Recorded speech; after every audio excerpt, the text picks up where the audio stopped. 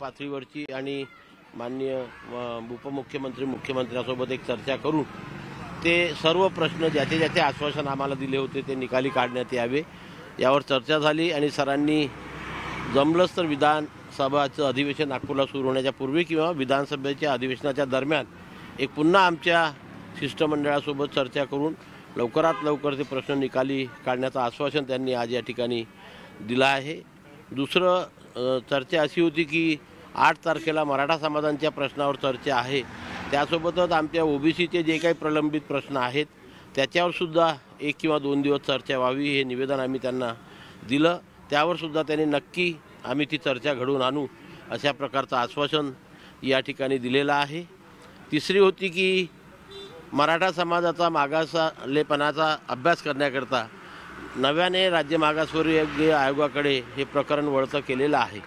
त्यासंबंधी आम्ही निवेदन केलं की हा अभ्यास करत असताना ज्या जातींचा ऑलरेडी ओ बी सीमध्ये समावेश आहे त्या जातींचा त्याच्यामध्ये समावेश करू नये व त्यांचा पुन्हा नव्याने अभ्यास करण्यात येऊ नये असं आपण एक ज्याला दुरुस्तीपत्रक राज्य मागासवर्गीय आयोगाला देण्यासंबंधी निवेदन आम्ही या ठिकाणी दिलेलं आहे. ते सुद्धा त्यांनी मान्य केलेलं आहे की ज्या जाती ऑलरेडी ओबीसीमध्ये आहेत त्यांचा नव्याने अभ्यास होणार नाही.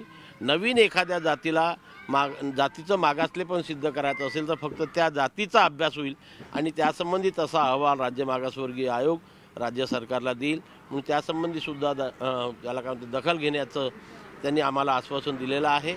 आणि न्यायमूर्ती शिंदे समिती जो कुणबी जातींच्या नोंदी तपासून राहिलेल्या आहेत त्या कुणबी जातीच्या नोंदीसोबत इतर जाती ज्या ओबीसी समाजामध्ये येतात त्यांचासुद्धा न- शोध घेण्याचा एक कार्यक्रम न्यायमूर्ती संदीप शिंदे यांना देण्यात यावा अशी सुद्धा निवेदन आम्ही दिलेलं आहे.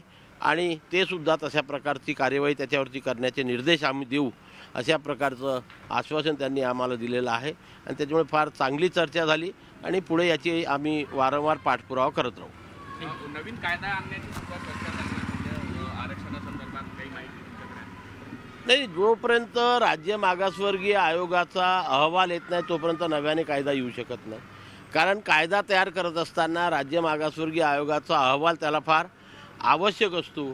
कुठल्याही अहवालाविना नवीन कायदा होऊ शकत नाही. मागच्या वेळेस तुम्हाला आपल्याला माहीत असेल की जेव्हा गायकवाड आयोगाचा अहवाल सादर झाला तेव्हाच तो कायदा करण्यात आला आणि त्या आधाराशिवाय कायदा होऊ शकत नाही. म्हणून नक्कीच नवीन शिफारस काही आली तर तशा प्रकारचा कायदा करण्याचा सरकारला अधिकार आहे पण शिफारस येणं फार गरजेचं आहे. तर आपण पाहिलं नुकतंच ओबीसी महासंघाचे अध्यक्ष बबनराव तायवाडे यांनी देवेंद्र फडणवीस यांची भेट घेतलेली आहे. उपमुख्यमंत्र्यांची भेट घेऊन दोघांमध्ये चर्चा सुद्धा झालेली आहे. ओबीसी मराठा आरक्षणासंदर्भात येत्या अधिवेशनामध्ये चर्चा केली जाण्यास क- चर्चा करावी अशी मागणी त्यांच्याकडनं करण्यात येत होती आणि यावर आता उपमुख्यमंत्र्यांनी सुद्धा त्याला सकारात्मकता दर्शवलेली आहे आणि इतरही या सगळ्या अनुषंगानं मुद्दे तिथे उपस्थित करण्यात आलेत आणि याबाबत त्यांची चर्चा झालेली आहे.